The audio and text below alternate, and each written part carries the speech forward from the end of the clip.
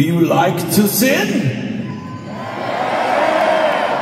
Really? Do you like to sin? Yeah. Who likes to sin? Yeah. Oh, yeah. Okay, that's really good. My friends, one thing is clear.